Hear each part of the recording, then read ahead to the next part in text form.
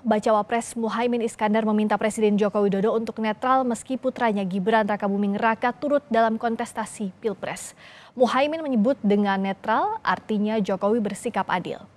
Pernyataan disampaikan Bacawa Pres Muhaimin Iskandar dalam acara diskusi bersama buruh rokok di Malang, Jawa Timur. Muhaimin menegaskan bahwa Presiden Jokowi harus netral dalam Pilpres meski anak sulungnya ikut dalam kontestasi mendampingi Prabowo Subianto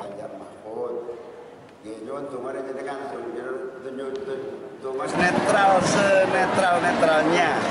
Dan saya berharap makan siang hari ini adalah komitmen presiden bahwa beliau akan netral.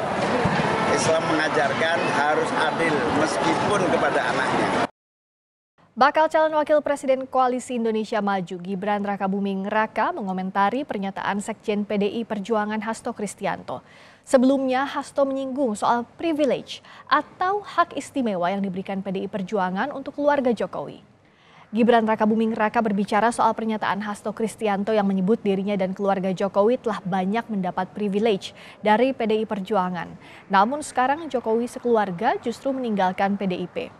Gibran mengklaim jika dirinya sudah meminta izin untuk ikut pilpres dan ini sudah sering dijelaskannya setiap kali menjawab pertanyaan kapan akan keluar dari PDI Perjuangan.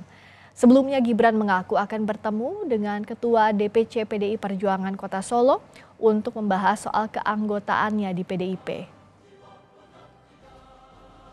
Baik keluarga Pak privilege dan keluarga Pak Jokowi ternyata mendapat privilege dari PDIP ternyata tapi meninggalkan PDIP tanggapannya seperti apa sih mas? Ya itu monggo saya kembalikan lagi ke Pak Hasto.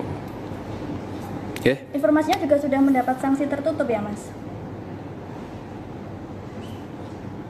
Teman-teman media kan saya sudah berkali-kali bilang kira-kira dua minggu yang lalu saya sudah ketemu Mbak Puan dan Pak Arsyad beliau berdua sudah memberikan saya izin untuk ikut berkompetisi. Itu ya, nggak, nggak perlu saya ulang-ulangi lagi.